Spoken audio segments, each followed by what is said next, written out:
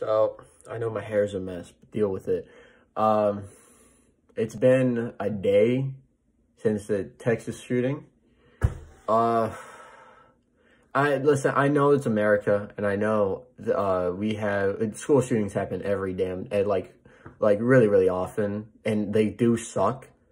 But the fact is that this was a um, this was a um, elementary school and the fact that it was an 18 year old doing it that killed 21 people including 19 children who practically probably never like hasn't even hit the like 10 yet. Double digits.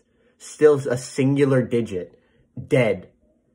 Uh, it's fucking retarded. It's stupid. Really really stupid.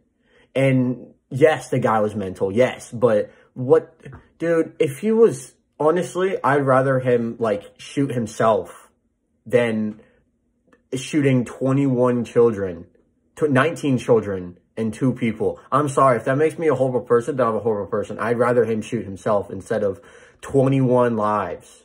21 lives. I'd rather that. And majority of them are not even 10. Like, this fucking doesn't make sense to me.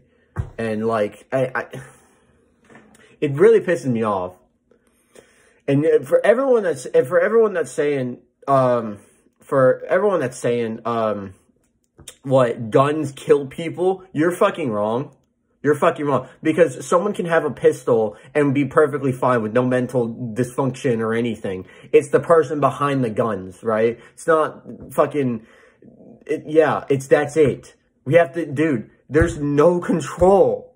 No one cares, apparently. No one cares at this point yes, there's background checks, but I bet in Dex in Texas the charges or like the fucking the um the checks are different than Florida or something like that. Let's think. And I don't know. It's just something we had to we dude, it's so fucked up. It's so fucked up.